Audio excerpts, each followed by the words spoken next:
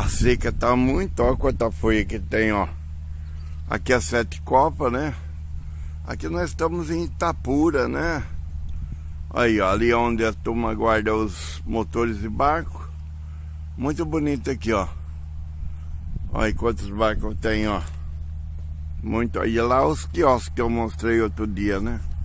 Não dá pra abrir que eu tô de mão. É, tô com a luva na mão, não abre. Só tô com o dedo principal pra desligar e ligar. Olha o que eu achei aqui na beira do rio. Uma belina, aquela belina aí, né? Muito bonita, né? Aí, ó. Ali tá o caminhão. Aqui fizeram uma cerca, olha o rio aí.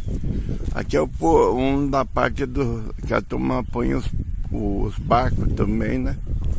Mas ah, muito boa essa belina, né? Ah, belina, olha. Olha que beleza. Da Ford, ó. Muito bonita, de pescadores, né? Olha aí, mas é muito bom era esse carro, né? Vou mostrar aqui pra vocês, ó.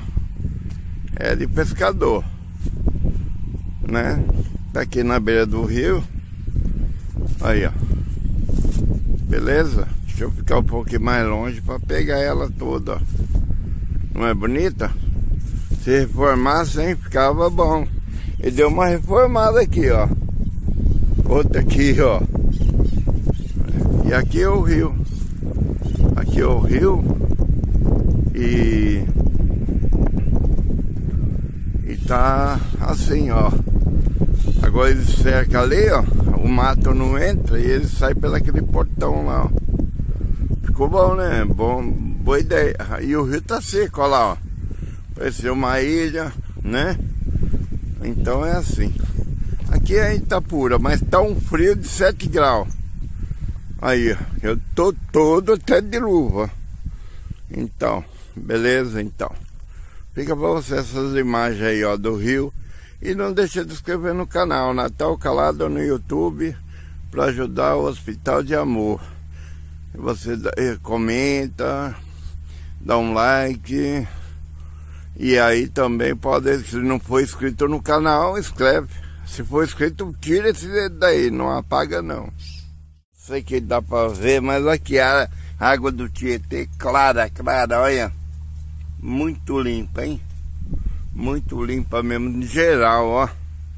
E agora sem mato aqui ficou muito bom para os barcos sair, né? É o núcleo do pescador aí, Beleza?